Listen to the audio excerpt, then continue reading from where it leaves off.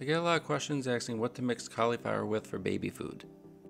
So I'm going to show you today how I like to make it for my little one.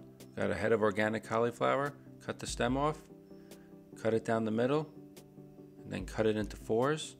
Just run the knife down, remove the stem. Cut the florets. Don't make them too small, we want them too big. I don't like to steam the cauliflower because it just stinks up the kitchen. So I have my oven preheated to 400 degrees Fahrenheit, 205 Celsius. I'm going to roast off this cauliflower. Should take about 20 minutes. Just going to drizzle some avocado oil over the top to add some moisture to the cauliflower. Cauliflower is loaded with fiber and it can be a little rough on your baby's digestive system and cause gas. So it's a good idea to wait till they're 8 to 10 months before introducing cauliflower. Cauliflower is roasted off here. I'm going to add it to the blender and add some golden raisins in for sweetness. Breast milk, formula, or filtered water to have a smooth puree. Blend that up.